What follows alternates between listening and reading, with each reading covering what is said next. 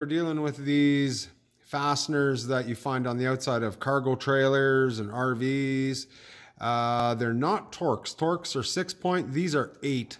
So they're called a double squared setup. So I was like, well, square, I have a square. So I tried that out and I took a number two Roberts.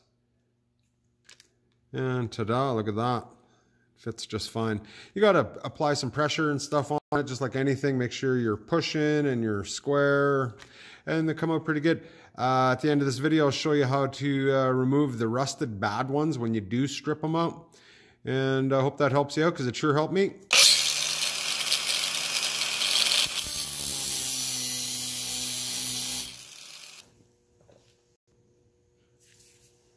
Flat blade screwdriver.